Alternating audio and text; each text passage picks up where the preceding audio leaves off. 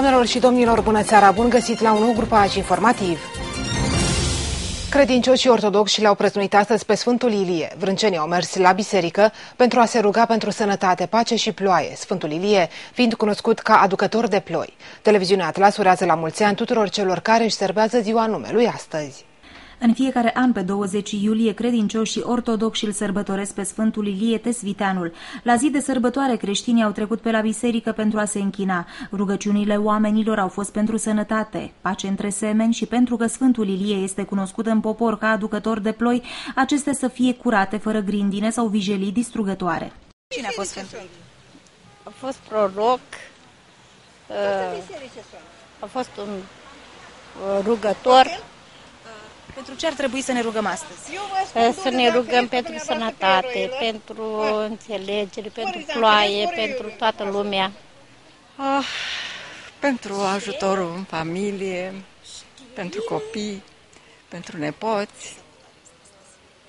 Sfântul Ilie. La Sfânta Biserică am venit să mă ajute, că am omul bolnav de cancer și am venit să mă ajut. Ce sărbătoare? Astăzi este Sfântul Ilie, este ziua lui tata meu. Bună ziua! Cu gânduri bune. Deci ce v-ați rugat? Pentru sănătate, pentru familie, pentru copii și pentru toată lumea. Sfântul Ilie se bucură de o cinstire deosebită din partea bisericii, ziua prăznuirii sale fiind marcată în calendar cu roșu, însemnare ce nu apare în acest fel la niciun alt proroc.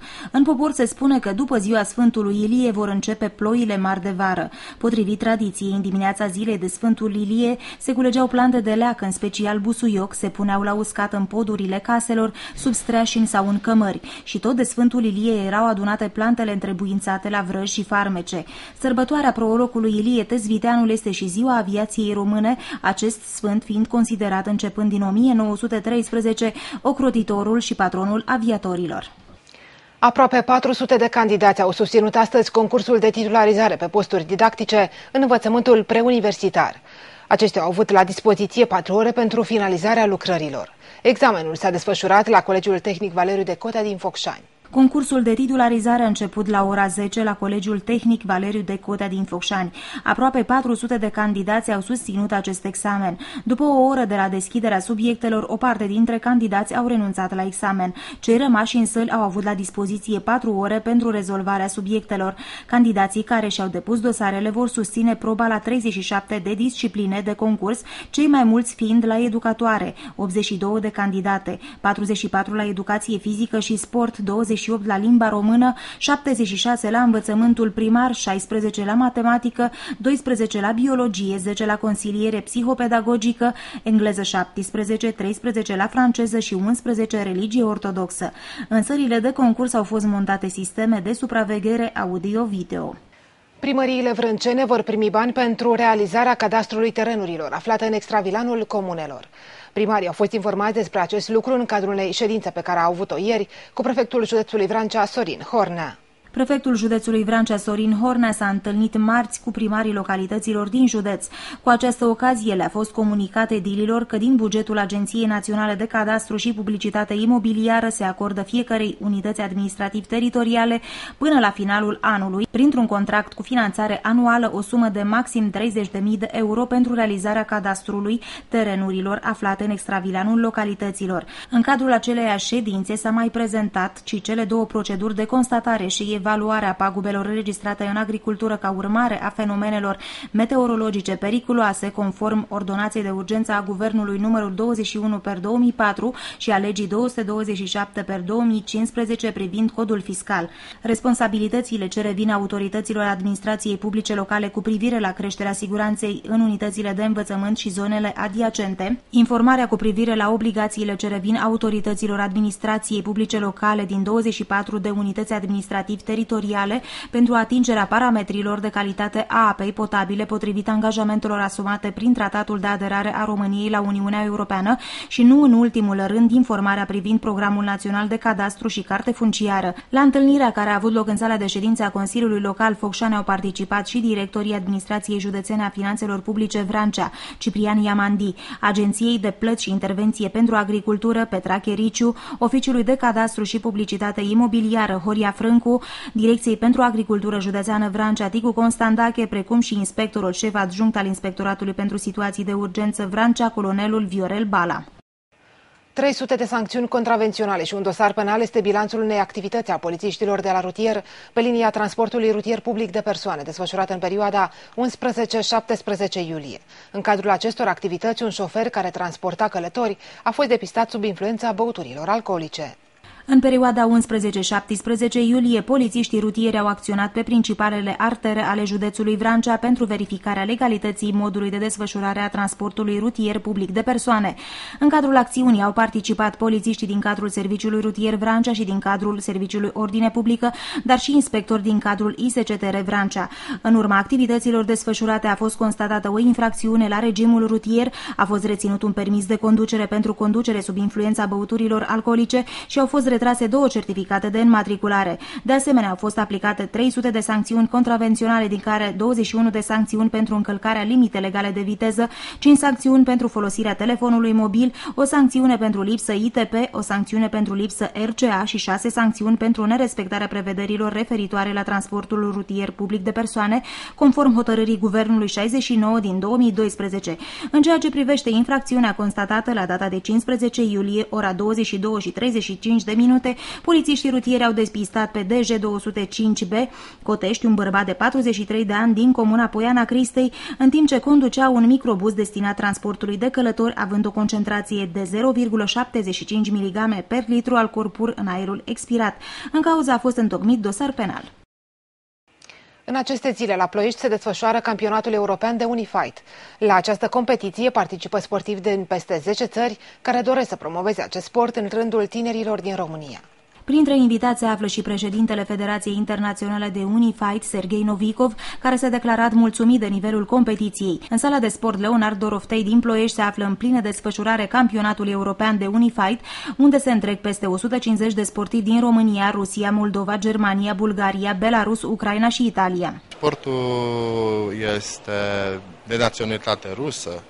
Uh, ei l-au dezvoltat mai mult din perioada post, deci în post uh, comunistă, au început să formeze federații și foarte mulți sportivi după anul 2000. În România a venit în anul 2001-2002. Uh, acum, uh, după mai multe lucruri și ni s-au acordat încredere, ni s-au, ni s-a, am ajuns la un nivel de pregătire cu sportivii, cu antrenorii, cluburile de copii, de juniori, de seniori, la un nivel foarte ridicat. Uh, cum zicem noi români, am ajuns să ne batem de la egal la egal cu rușii. Și asta este o mândrie pentru mine. Unifightul este un sport din ce în ce mai cunoscut. Inițial era un antrenament pentru cei din forțele speciale rusești, ulterior devenind un sport deschis publicului. Unifightul uh, are două etape. Prima etapă e parcurgerea pistei cu obstacole, pe care o vedeți dumneavoastră aici. Sportivii pleacă amândoi uh, de la linia de start și într-un timp relativ scurt uh, trebuie să treacă de mai multe obstacole, după care uh, vor avea uh, două reprize a două minute și se vor lupta efectiv în ring. Aceasta este varianta light contact, care, după cum vedeți, este o combinație între judo, sambo, lupte și se pretează foarte bine cadrelor Ministerului de Interne. Lupta universală reprezintă un sistem sportiv care se caracterizează prin manifestarea complexă a tuturor calităților motrice. Acest sistem cuprinde două etape consecutive bazate pe întrecerea fizică. Prima etapă constă în parcurgerea unui traseu cu obstacole și proba de tir, iar a doua etapă constă în lupta corp la corp pe ring la un minut după parcurgerea primei probe eliminatorie. Хочу сказать э, и высказать глубокую благодарность э, Богдану Ньяга, Vreau să mulțumesc uh, organizatorului Bogdan Neagu. Uh, выразить глубочайшую благодарность и uh, власти мэру города Ploiești. Să-mi vreau să spun mulțumirile mele profunde administrației orașului și primăriei municipiului Ploiești. Всем тем, кто принимал участие в подготовке этого чемпионата Европы și tuturor celor care au făcut ca acest campionat în Europa să fie posibil. Când a fost înființată Federația Internațională de Unified? Когда была э, когда, была, э, когда Федерация Unified началась? Э, Она началась еще в прошлом десятилетии. Это 2005 год. S-a fondat în 2005. Și câte federații sunt afiliate? Сейчас у нас федерации, 42 федерации в мире. Acum, la momentul de față, avem 49 de federații în întreaga lume. Este un sport uh, pentru amatori deocamdată? V-ați gândit uh, ceva mai târziu să devină un sport și pentru profesioniști? Это спорт для любителя, и- для любителей или для... э, И для профессионалов тоже. Я, да, я хочу сказать, что э, этот вид спорта охватывает э, практически все силовые структуры. Deci acest sport este un sport pentru profesional. Avem și amatori, dar pentru profesional și vreau să spun că în acest sport activează sportivi uh, din toate, uh, în toate sectoarele uh, de uh, MAI, de exemplu, de, de, uh, полиция, de exemplu, poliția, армия. în ar- armata. La finalul competiției, care se va încheia sâmbătă, participanții vor primi diplome, cupe și medalii din partea organizatorilor. Sâmbătă se va desfășura ediția din acest an a trofeului George Bucuroiu la tenis de câmp. Competiția este rezervată categoriilor de vârstă 10-12 ani la băieți și fete. Circuitul de tenis de câmp Vrancea Trophy, Consiliul Județean Vrancea revine în actualitate cu ediția din acest an a trofeului George Bucuroiu. Întrecerea este programată sâmbătă 25 iulie pe cele șase terenuri din cadrul complexului sportiv Milcovul Sud din Focșani. Competiția va avea mai multe paliere valorice și de vârstă. Astfel, la categoria de vârstă 12 ani masculin și feminin, concursul va fi de categoria A, iar la 10 ani va fi de categoria 1. Trofeul George Bucuroiu va fi un bun prilej de verificare a acumulărilor fizice reușite în ultima perioadă de tenismenii vrânceni, între care și cei de la clubul CSM 2007 Focșani, care au participat în ultima perioadă la două stagii de pregătire care au avut loc la Târgu Jiu și Cluj-Napoca. Turneul este organizat de Tenis Club Focșani, iar directorul întrecerii este Gabi Nicolae. Valoarea totală a premiilor este de 8.000 de lei, iar câștigătorii vor primi cupe, medalii și materiale sportive.